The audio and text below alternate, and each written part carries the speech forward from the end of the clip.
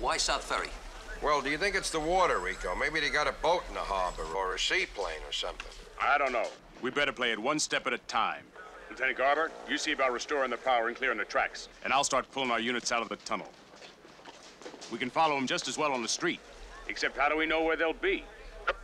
The Grand Central Tower has them on their model boards, sir. We can see every move they make. They stop any place before South Ferry, we know about it.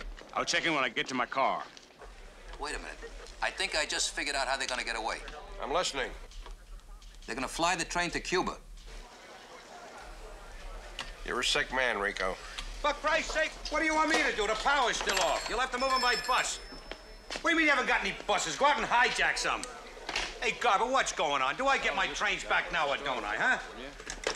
You don't, not yet. Jesus, do you realize the goddamn rush hour starts in an hour?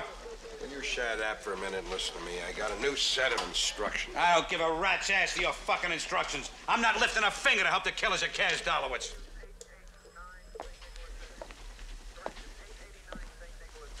Hey, hey, Now, you listen to me, you dumb son of a bitch. You don't do what I tell you, you'll be having dinner tonight with Caz Dolowicz. Jesus Christ, what are you...